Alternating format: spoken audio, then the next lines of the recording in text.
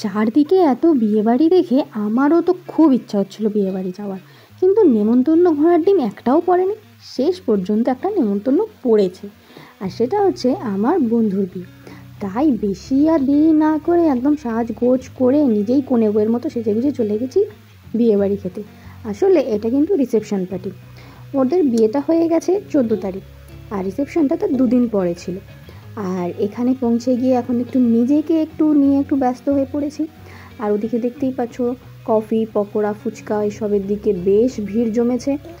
আর এখানে কর্তামশাই চলে গেছে কফি টফি আনতে আর আমি এখানে বসে আছি। তারপর নিয়েও চলে এসছে।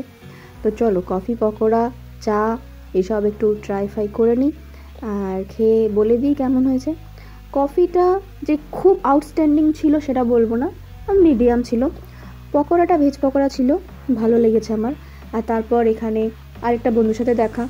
ছোটোবেলার বন্ধুর বিয়ে বলে তো বন্ধু টন্ধু অনেকেই থাকবে। তো এর সাথে দেখা।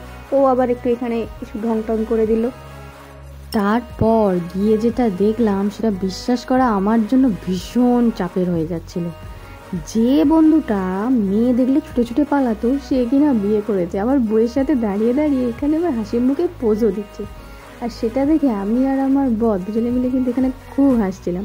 তো যাই হোক, ওদের দুজনকে দেখে তো আমার খুব ভালো লাগছিল। আর এখানে দেখতেই পাচ্ছ যে গিফট দেওয়ার জন্য কত হুড়োহুড়ি লেগেছে। আসলে ওর অফিসের স্টাফরা এসেছিলেন, তো ওনারা আগে দিয়ে দিলেন, তারপরে আমি গেলাম একটু দিতে।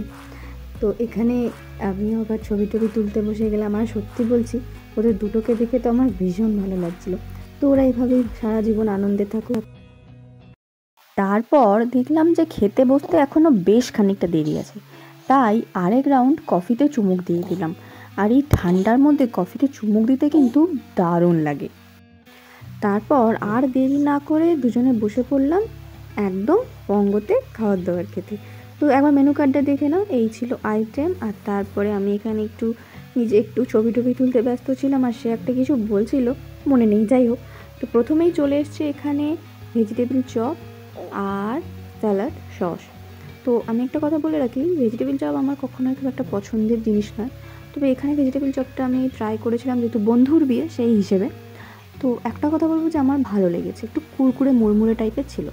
তারপর চলে এসেছিল বেশ গরম গরম ফ্রাইড রাইস আর চিলি পনির তো চিলি পনিরটা খুব যে অপূর্ব ছিল সেটা আমি বলব না, মোটামুটি ছিল। তবে ফ্রাইড রাইসটা বেশ সুন্দর ছিল, চালগুলো একদম গোটা গোটা ছিল, ভেঙে যায়নি। আর বেশ ভালোও লাগছিল খেতে। একদম টেস্টটাও খুব সুন্দর ছিল। চিলি পানিরটা আর একটু যদি গ্রেভিটা গাঢ় হতো, আমার মনে হয় ওর টেস্টটা একটু বেশি এনহ্যান্স হতে পারতো। তো যাই হোক, তো ওইটা দিয়ে একটু প্রথমে একটু খেয়ে টেয়ে নিয়ে তারপরে কি এসে যায় একটু দেখি। তারপরে চলে এলো ঝুরঝুরে আলু ভাজা, মুগের ডাল আর গরম গরম একদম ধোঁয়া ওঠা ভাত। এটা কিন্তু আমার মতো আমি আশা করব যে সবারই ভীষণ প্রিয়। বিয়ে বাড়ির স্পেশাল এই খাওয়াটা। তার সাথে অবশ্যই ছিল একটা পাঁচমেশালি সবজি। সবজিটাও মোটামুটি ঠিকই ছিল। আর এই খাবারটা মানে জুজুরে আলু ভাজা দিয়ে গরম গরম ভাত, আমার কিন্তু দারুণ লাগে। তারপর এসে গেছে গরম গরম ধোঁয়া ওঠা চিকেন কষা। আমি একটা কথা কিন্তু অবশ্যই বলব এখানে, চিকেন কষাটা কিন্তু আমার দারুণ লেগেছে। সত্যি বলছি, আর গ্রেভিটা কিন্তু বেশ সুন্দর ছিল। আর ওই গরম গরম চিকেন কষা দিয়ে ভাত খেতে আমার তো খুব মজা লেগেছে। আচ্ছা তোমাদের কার কার চিকেন না মাটন কোনটা প্রিয়, সেটা কিন্তু অবশ্যই কমেন্ট করে জানিও। আমার মাটনটাও কিন্তু দারুণ লাগে। তবে চিকেনটা যদি এইরকম টেস্টের হয়, তাহলে কিন্তু বেশ ভালো লাগে। তবে আমার কিন্তু এই বাংলা চিকেনটাই বেশি ভালো লাগে। মানে ওই যে রবিবারের দুপুরে যেটা হয়, মায়েরা যেটা বানায়, আমার কিন্তু ওটাই বেশি ভালো লাগে। বাকি যত প্রিপারেশান আছে, সবগুলোই ঠিক আছে। তবে রবিবারের দুপুরে চিকেনের প্রিপারেশানটা কিন্তু দারুণ হয়। তারপর চলে এসছে এখানে ফ্রুট চাটনি তো এই চাটনিটাও আমার বেশ ভালো লেগেছে, একটু অন্যরকম ছিল। আর পাঁপড় ভাজা দিয়ে চাটনি তোমাদের কার কার ভালো লাগে জানিও। আর তারপর এসে গেছে রসগোল্লা। এর মাঝে অবশ্য পায়েস ছিল, সেটা নেই নেই তারপর খাওয়া দাওয়া করে ঠান্ডায় কাঁপতে কাঁপতে এসে ঢুকে পড়েছি মশারির ভেতরে। তো তোমরা জানিও ব্লগটা কেমন লাগল, দেখা হচ্ছে নেক্সট ব্লগে। টাটা!